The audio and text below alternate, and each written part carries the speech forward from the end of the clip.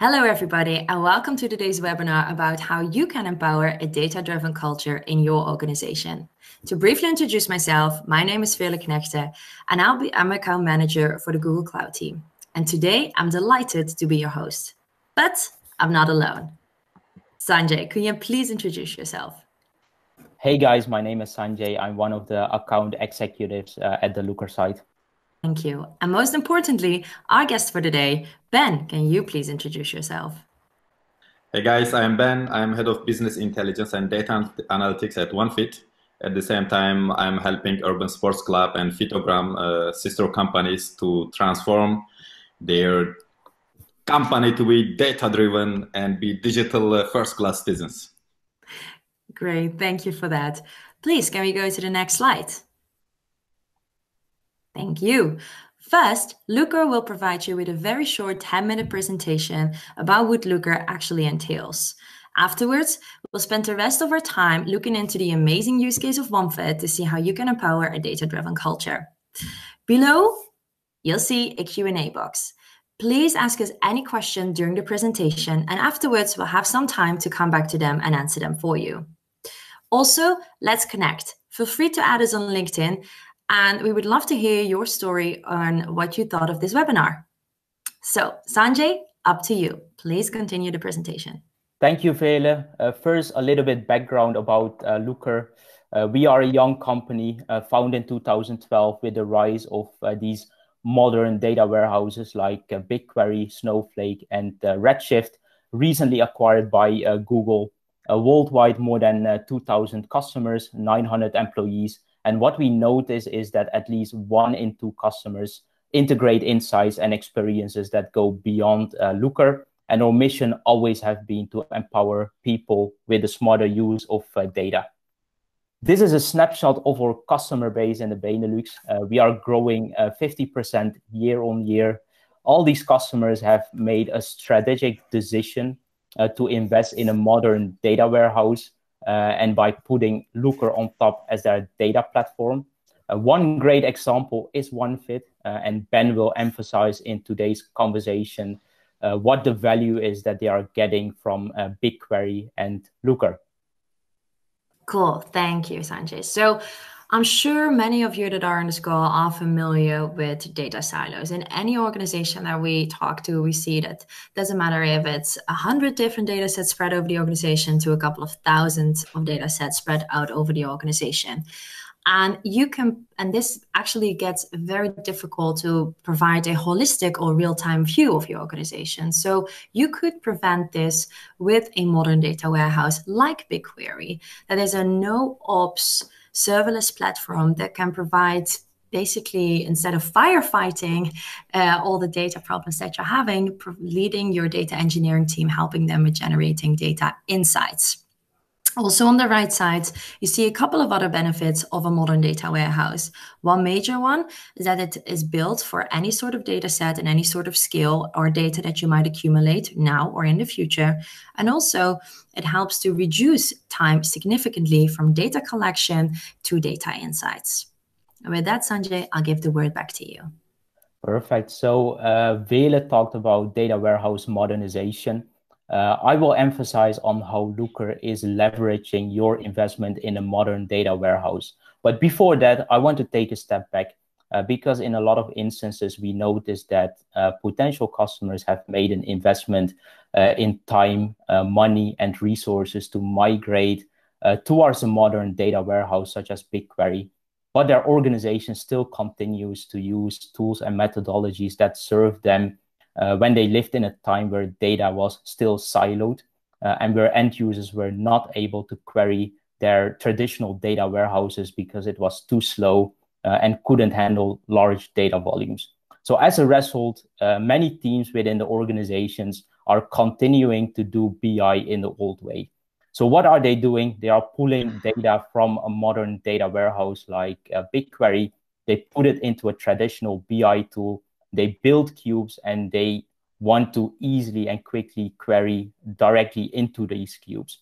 And in the old days, this was very normal and this was expected uh, because uh, at that time, it was very normal that you are using an in-memory database uh, as you couldn't uh, directly query into a data warehouse as it was too slow. But as you know, uh, with these new modern data warehouses like BigQuery, this is no issue at all. However, many organizations that are still doing BI in the old way uh, are facing analytic silos. And this leads essentially to data that is disparate, end users that are super frustrated, uh, agility, uh, a lack of agility, and insights that rarely turn into action. So, and that is why Google have invested in acquiring uh, Looker. Uh, Looker is a modern uh, BI platform that is born in the cloud generation. Looker was found in a time where cloud began to rise as a viable alternative uh, for companies to invest uh, instead of managing their own infrastructure. And as a result, uh, Looker created a 100% cloud native application uh, that takes the advantages and benefits of these new modern data warehouses uh, instead of uh, focusing on legacy features such as in-memory databases. So Looker sits on top of your data warehouse and leverage all that it has to offer. Not just super fast queries uh, times over massive data sets, but also utilize new features that uh, data warehouses like BigQuery offers, like BQML and GIS. In addition, the Looker team created a semantic layer. Uh, we call it LookML that ingests your data schemas, enable your data team to create unified definitions uh, of your metrics. So now you have clarity what is customer lifetime value and what is gross revenue, for example. Results remain consistent and trust in the data grows internally with your key stakeholders. In addition, you control who has access to what data, uh, how, right down to the row level. With LookML, end users can create their own queries uh, on data sets uh, you give them access to without having to know SQL. This empowers your stakeholders and frees up your data team to focus on mining the data to innovate on behalf of uh, the business. And last but not least, uh, Looker as a cloud native uh, has rich extensible API so that you can send data to where your stakeholders are, allowing them to make decisions in real time. As a summary, uh, talked about um, organizations that have a lot of uh, data sources and SaaS applications. Um, these SaaS applications create a lot of insights, uh, which lives in silos. Uh, and these modern organizations make a strategic decision to invest in a data warehouse like BigQuery. And then Looker comes on top with its semantic layer.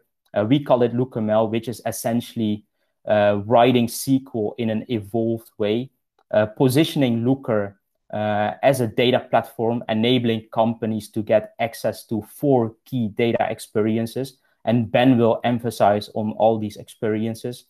It started with modern BI and analytics, uh, giving organizations uh, access to self-serve analytics uh, without having to know any technical language so that uh, end users are able to create their own reports uh, and dashboards uh, integrate insights into tools that they are already using widely uh, so that you bring data where it gets consumed uh, so that you increase user adoption build data-driven workflows by feeding data in and out of uh, platforms uh, utilizing looker and automating this whole workflow all the way up to building custom applications by utilizing looker's apis uh, on top of your data warehouse and potentially generating uh, additional revenue streams uh, from this initiative.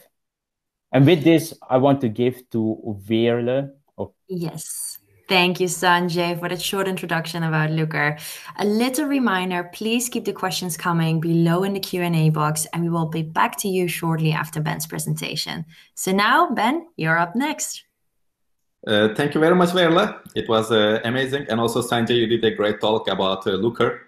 I love BigQuery and Looker because these are two big uh, advancements in technology, in data technology that empowered us to have a data-driven culture at OneFit. And which is the topic of my talk right now. And thank you very much for inviting me here to share our experiences and our key learnings and the challenges that we had on the way. I'm Ben. I'm head of data and business intelligence at OneFit. Uh, I came to OneFit as a senior data scientist, but then I realized the first thing that we should do is to set up a data department and analytics first. So here's the outline of my talk. And first, I'm gonna tell you what will be the structure of my slides, and I'm gonna introduce a methodology, and then talk a little bit about what is OneFit, huh? What do we do there? Which kind of data and services we have? and what are the business needs, expectations uh, from a business intelligence department. There we are going to talk about a modern data stack, particular emphasis on BigQuery and Looker. And then I'm going to share with you our experiences, how to make first BI impact on the business directly, how to uh, pick the low hanging fruits to bring a lot of uh, impact and then I'm gonna tell you the challenges that we have uh, to build a data-driven culture and how we overcame them and what are our key learnings. And then uh, to make our talk a little bit sweet and visual, I'm gonna give you some example use cases with business values that you can directly implement in your companies, in your departments. So our methodology is CARL. Everybody knows CARL, especially if you are in uh, human resources right? In human resources field, uh, there's a CARL method that used in interviews. You ask uh, questions to interviewers. So the C stands for context. And in our talk, in the rest of my talk, I'm gonna use context for every chapter. Context of this entire talk is basically companies seeking for data transformation. And the actions that we took about this thing, basically to implement best practices from industry. And the results are basically the most important result here that we are going to talk about in the rest of my talk is the data driven culture, which results in enhanced business decisions, which results in money. so, our key learning here is that it worth every single penny that you spend on data driven culture. And what is OneFit, guys? This is my company, and we are a unique platform that we give a service uh, to our members, a service that they can work out everywhere with one membership. Just in Amsterdam, they can take classes or train more than 500 gyms and studios. These are not only fitness, but it's like yoga, boot camp, dancing, swimming, and it's unlimited. In order to just book a class, you just join the platform and then you search for a location or you can just browse among the locations that are there. You can filter it. You can go to map and define a certain distance. And then based on that, you can also define with some uh, class categories such as boot camp or uh, uh, CrossFit and so on. And then you show the results. And then you will see a bunch of classes. And you go to a class, click on it, and then book the class. And Matthias, our dear product manager, he is booking the class. And then you can also invite your friends.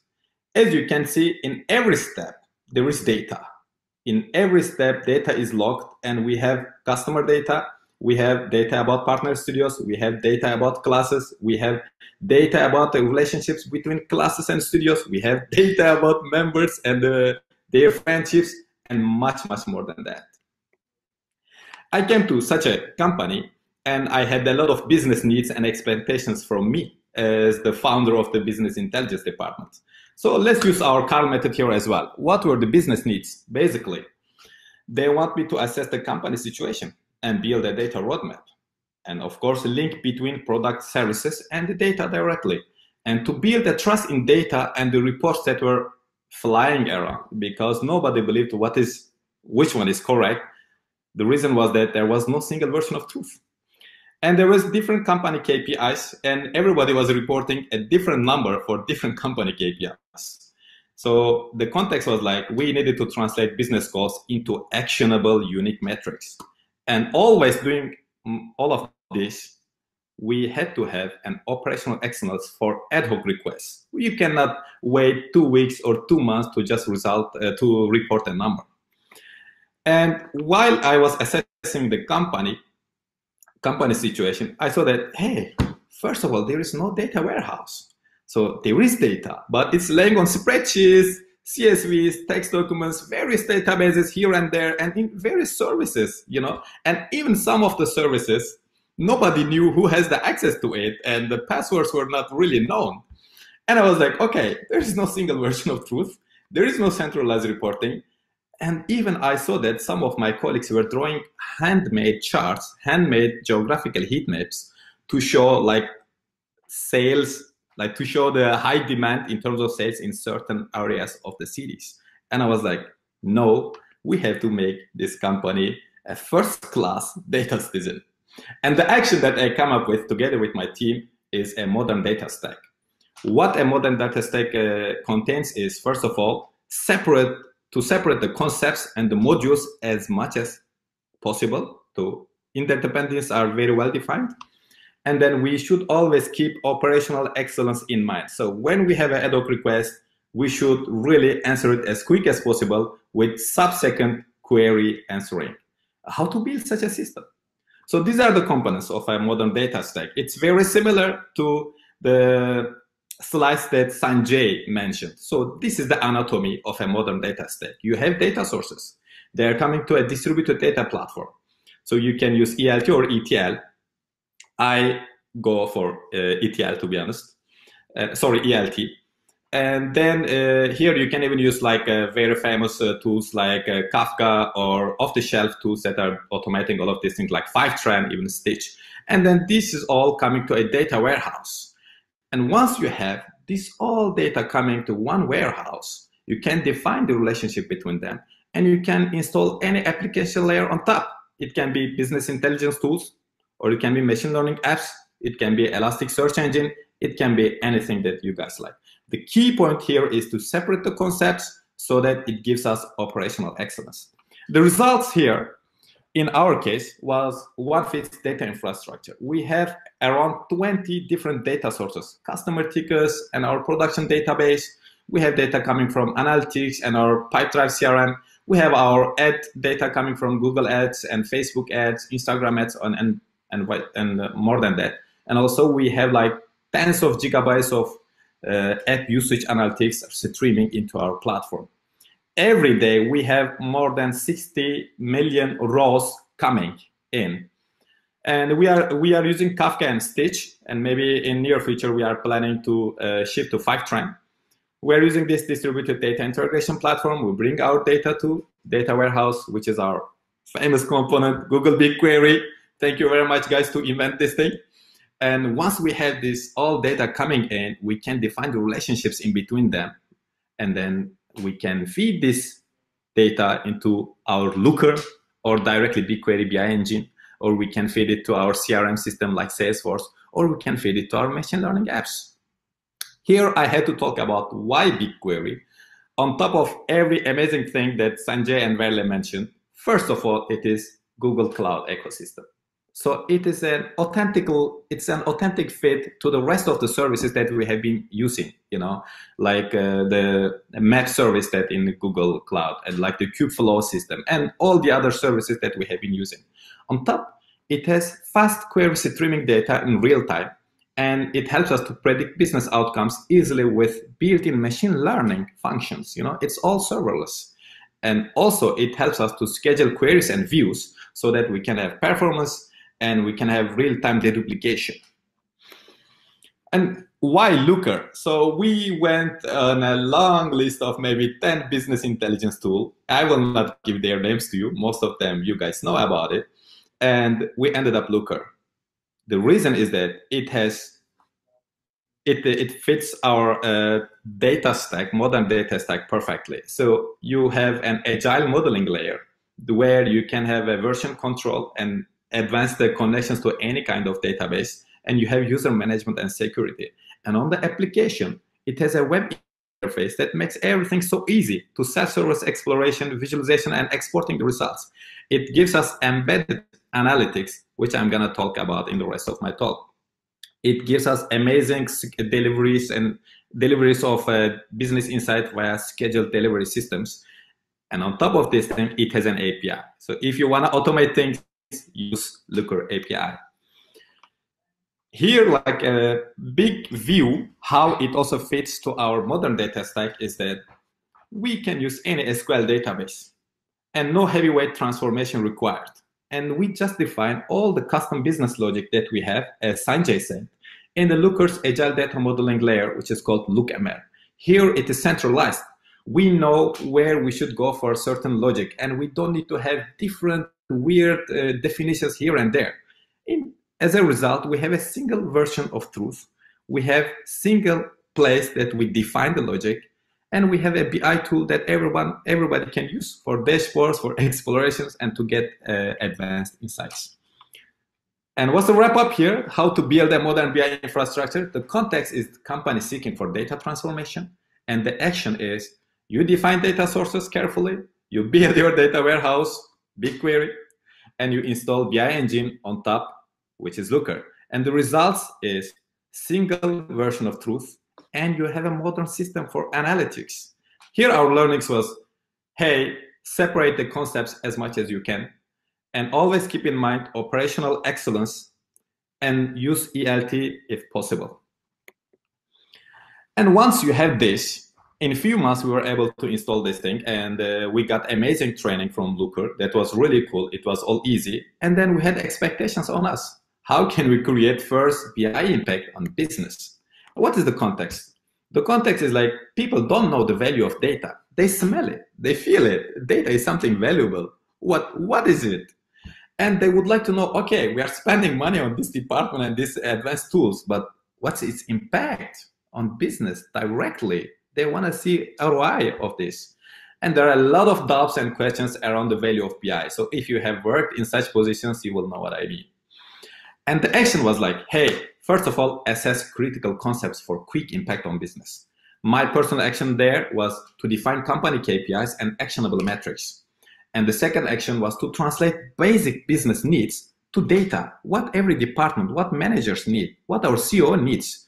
And we define low hanging fruits like investor reporting. And there was lots of manual investor reporting happening every month, which is taking days of our finance department. And I know we can do these things so quick at the, via help of Looker. And ex executive board reportings were also like a mess that was happening every Monday, and things have to manual. Somebody has to download the data, compile it on uh, Excel sheet uh, or spreadsheet, and then present it every Monday. And I was like, hmm, this is something that we can do very quick impact. And the third one was just check around, is there something to automate? Because this is the power of BigQuery and Looker. And we saw that community success department needs something from us. And the results of the first one, the company KPIs, were just uh, shown on a dashboard. So just to let you know, all the data that you are gonna see here and the rest of my talk is fake. It, uh, it is anonymous. But as a result, we have this kind of uh, company KPI dashboards that not only on a spreadsheet that we show each other, show to each other on Mondays, it's a live dashboard. You can see it anytime in any meeting. You just open it, it's there. You can show it to your colleagues and you can immediately start discussing. And this was a breakthrough in the executive board. And then we said that, hey, like one of the investor reported things was like we have to always check new market potentials. And this, that's it. And just show you don't need to draw heat maps uh, anymore, like manually. But here, Google just lets you. You can check what's the inventory demand in different kind of the city based on the partner zip code, and you check the inventory demand by the member zip code, and you can see where you should act immediately. And the third one was like we saw that uh, we have a big community success department, and every time when a member calls them, they have to go to their Zendesk, and from there they have to find the ID, and from the ID they have to go to our back office, and there see the customer data and it was like uh, several uh, like clicks taking almost a minute for in every customer call. And we're like hey we can automate this thing by member closeup and via help of looker we can also connect this thing directly to zendesk and which can show as an embedded pop-up whenever a member calls this pops up you don't need to click anything and these few tricks ended up really big impact on business in just few weeks not much. The context was business expectations were high and there were doubts and questions around how we can be valuable to the company. The action we did was assess critical metrics, define low-hanging fruits, and automate if you can. The results were efficient decision making in the board, monitoring basic company KPIs, a lot of satisfied managers, and most importantly, BI proved its value for the next steps. And the learnings were be pragmatic, be opportunistic don't go for 100% uh, like accuracy or 100% ideal cases just get the low hanging fruits and use the power of data infrastructure that you have bigquery and looker and communicate communicate communicate with the rest of the company. Once you have these basics then of course now it comes to how how to transform the rest of the company every employee to build a data driven culture. The context is that can the rest of the company benefit from uh, the the infrastructure that we built not only few managers or investors but all the company and also is analytics scalable to the West? can we democratize it can can uh, other employees just go and find what they want but at the same time, we know that every department has different needs, they have different definitions, they have different metrics. And how to ensure no overwhelming requests on the data department, right? Because if you make everybody data driven, and then you will get a lot of questions and you have to answer them. You cannot say no to them. And meanwhile, doing all of these things, you have to ensure the privacy and the security of the data. You don't want to mess up uh, GDPR. And the action here was like, hey, we have to define the personas of the platform. We have to have these business users and we have to train them. And we got a lot of help here from Looker experts as well. Thank you very much, guys. And you have to work on cross-functional adoption of data. You have to democratize the access that they, everybody can access what they need only. And importantly, you have to create self-service model so that you can come up with data ambassadors in every department that they, they can be data experts based on their domain. And we define the personas of the platform. In our case, like first class citizens were analysts and data scientists, of course. And then we saw that product managers use it quite often. And followed by marketeers, uh, particularly performance marketeers. They love to analyze data. They love to see how their campaigns and ads are doing. And of course, sales managers. As an action, after defining those groups, we gave proper training to each of them few times we told them what is how is it going and we worked on cross-functional adoption of data. We defined different needs with every department and we defined different definition of metrics metrics. We created self-service models for every department. And first of all we make it accessible via dashboards and then explore to them which they can drag and drop and come up with the insights that they have been looking for in just a few minutes. And for this thing, the maybe the most important action we did was to find ambassadors. We trained them. We used them also to improve the self-service models, and they have been the basically the free PR, internal PR in the company for data. And those ambassadors are like the seeds that you put in a farm, and they blossom and they become tree. And the fruit of this tree is a data-driven culture. The result is although we have few admins and developers in the team, less than six, to be honest. We have a duplicate there, but we have 11 content creators. Here, five, six additional people are coming from these five, six departments that we use. They are creating the content like dashboards, explores. They are doing a lot. And it's not just like random. As you can see here, 83% of our dashboards are actively used every week. Only 70% of them are stale.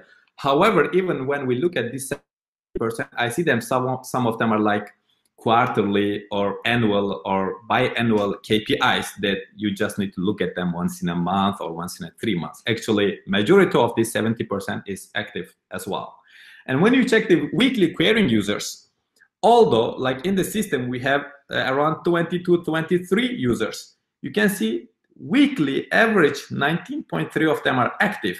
So almost the entire like company every week they're going checking doing something on Looker, which shows our success. As a wrap up, the context was can an entire company benefit? And the actions we did was define the personas, different needs, make data accessible, and find ambassadors. The results were data-driven culture, in less than 18 months and efficient business decisions and a focused business intelligence department that we can do advanced analytics like machine learning. Our learnings here were, hey, define your mission very well. Trust your colleagues, democratize data, let it go, trust them. They will find the correct answer. Don't be monarch or uh, like a very uh, protector of your data. Let it go with proper user management and privacy.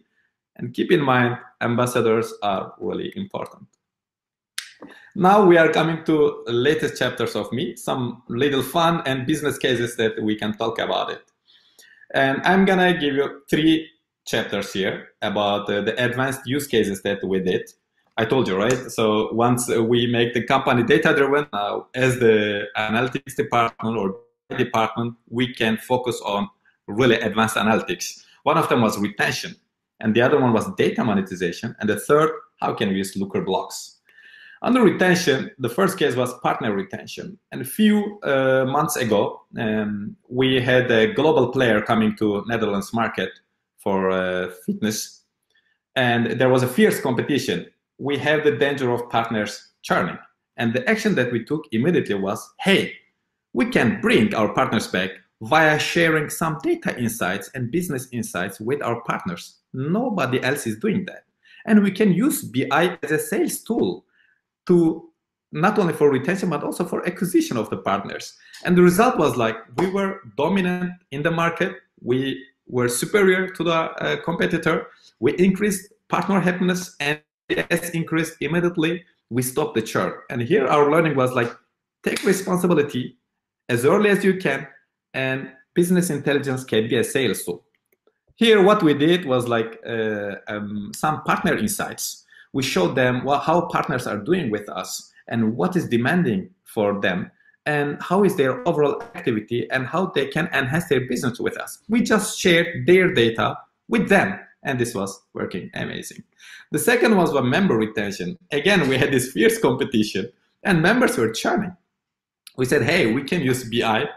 Here, whenever I say BI is Looker actually, using as a CRM tool to automate member insights. And the result was dominance in the market again. We had personalized CRM campaigns for the first time in the company's history and as a result, we stopped the churn, which brought more than half million annual money to the company. And the learnings was like, of course, take responsibility. BI can be a retention tool because Looker allows you to do so. The cases that we did there was like CRM member segmentation. We segmented the members by using Looker, which kind of sports they do and which kind of transitions they have between different sport categories. And we can automatically get this and connect to our CRM tool via Zapier or Google Sheets. And then we can just automate all of this thing. And then the email campaigns will be just sent, personalized. The second use case was data monetization. We always knew that we are sitting on top of something very valuable, right? And we said, can we monetize our data? Yes. The answer was like, yes. Which action we need? We can use embedded analytics that Looker gives us off the shelf.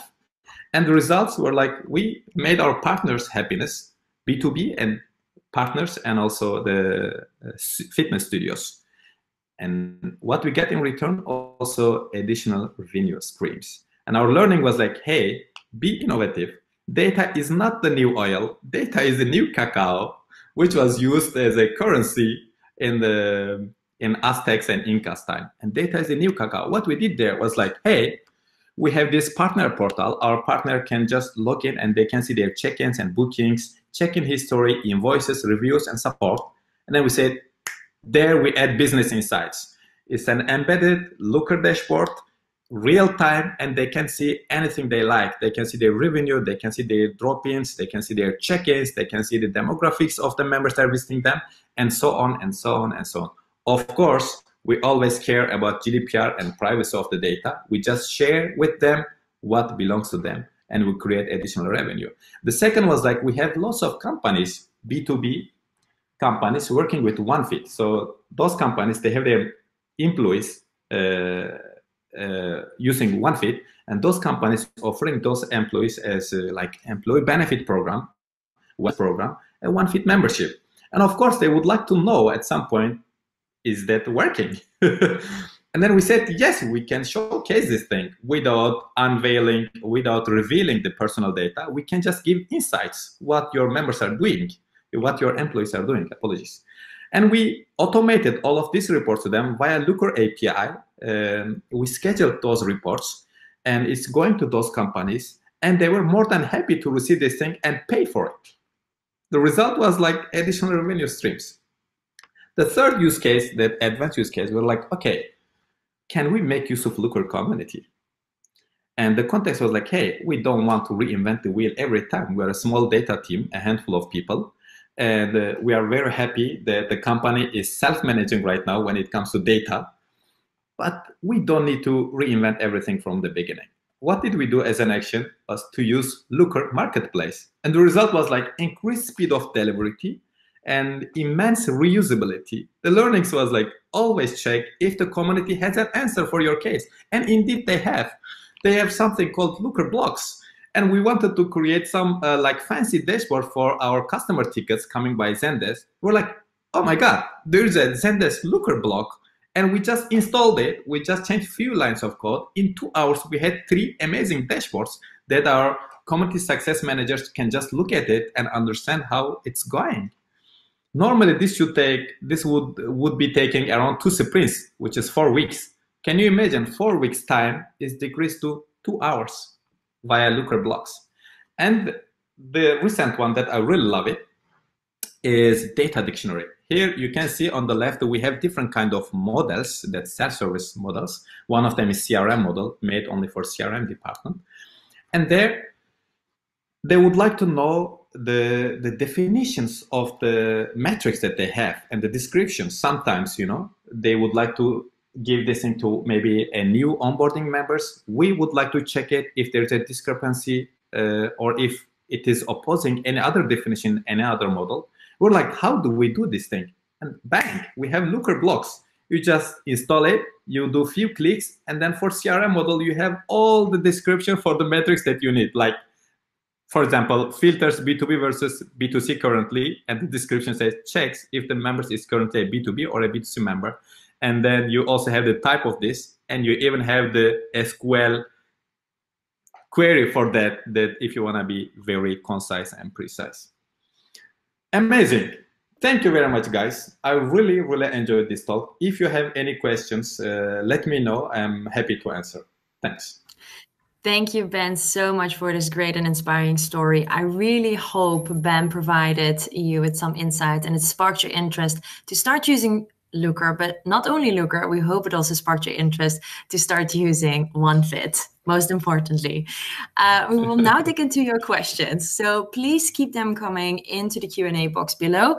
If we don't get them in time, then we will follow up with you shortly afterwards. Cool, guys. Let's go to the Q&A.